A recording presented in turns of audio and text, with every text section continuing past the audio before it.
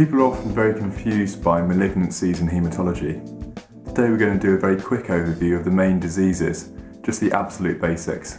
By the end of the video, you should be able to describe each of these diseases in just one sentence. If you want, you can pause the video here and try that for yourself first.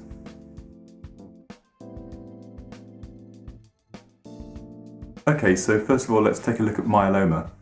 Myeloma is a neoplastic disease of plasma cells. Can you remember what plasma cells are?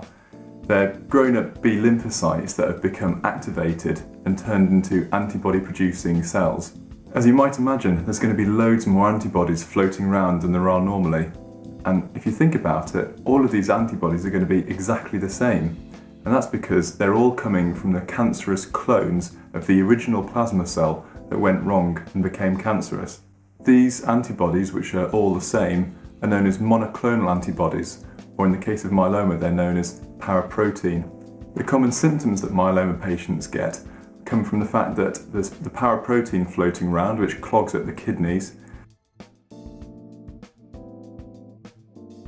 And also, they can get problems because there's too many myeloma cells, too many plasma cells, clogging at the bone marrow, and that causes problems like anemia, because there's no room to make the normal red blood cells, and also bone pain.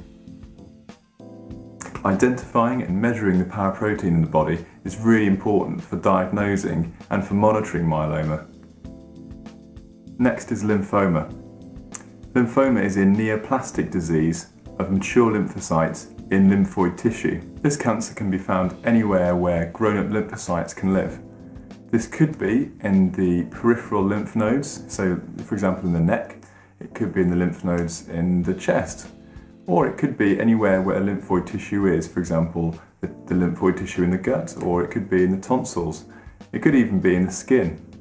For the most part, lymphoma is a solid tumour. It's all in one place.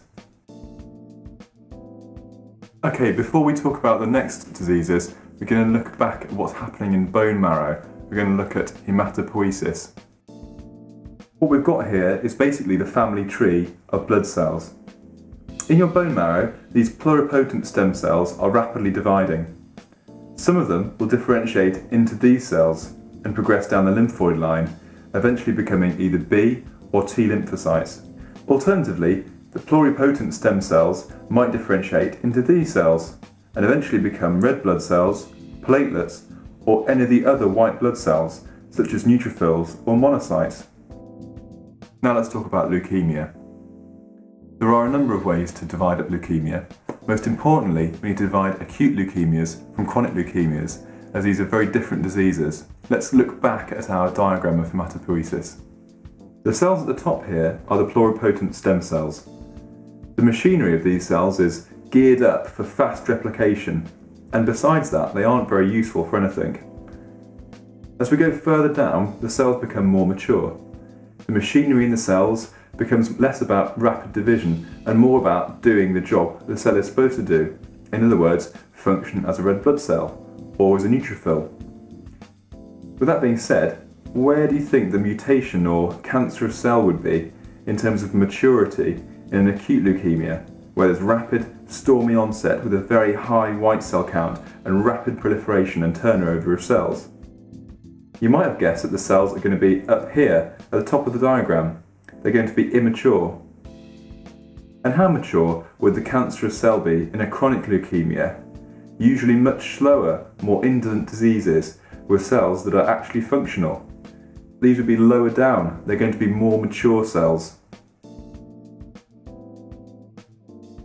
Acute leukemia is a neoplastic disease of immature blood cells called blasts in the bone marrow. Tests can show us whether the cells are from the myeloid lineage or the lymphoid lineage, and on this basis we can say that the leukemia is acute myeloid leukemia or acute lymphoid leukemia. The acute leukemias have a dramatic, stormy onset. There might be a very, very high white cell in the patient because all of the blood cells are spilling out from the marrow. The white cell count actually might be in the hundreds, and this creates a blood which is very, very viscous and sticky, which can cause problems in clotting.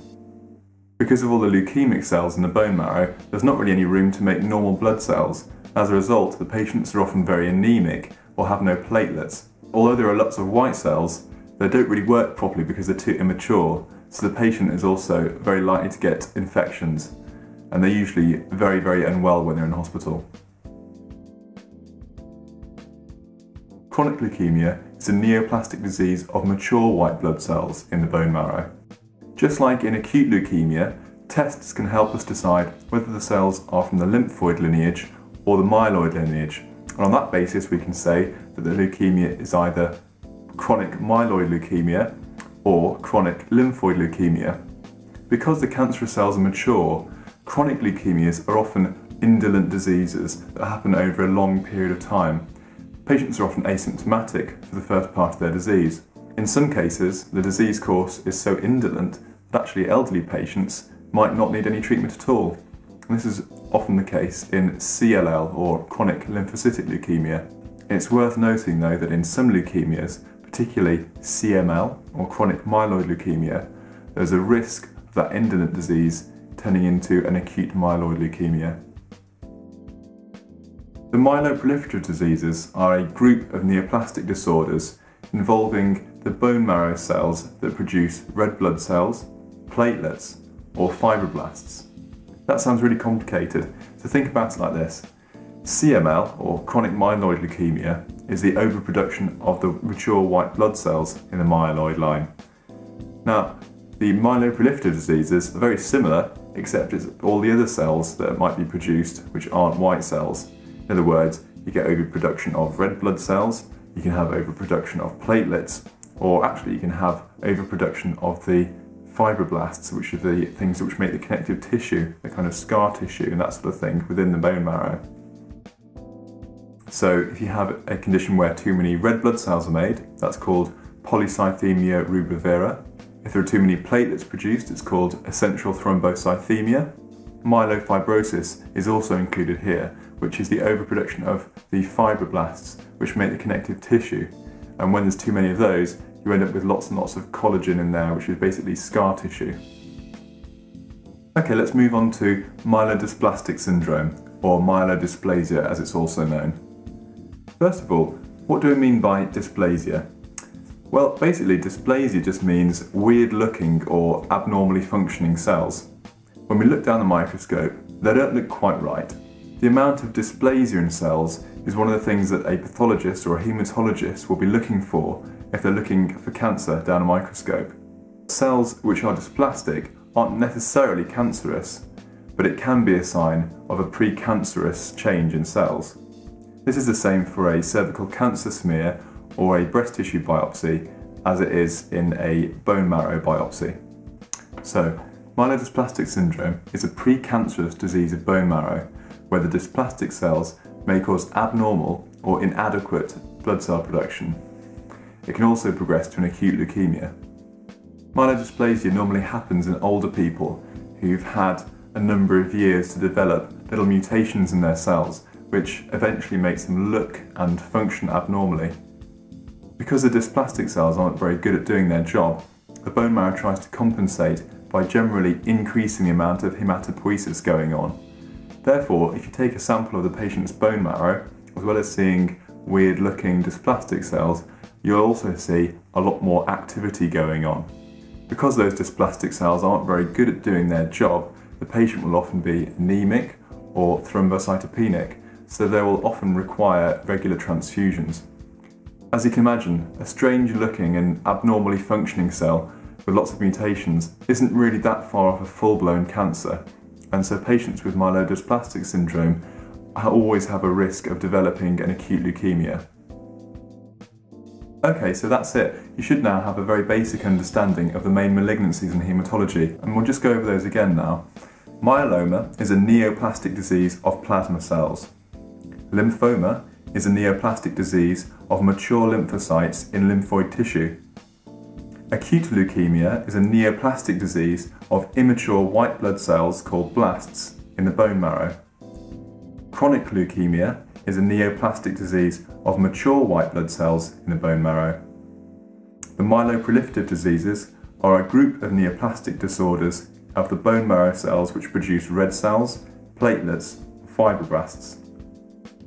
And myelodysplastic syndrome is a precancerous disease of bone marrow where the dysplastic cells can cause abnormal and inadequate cell production and also may progress to leukemia.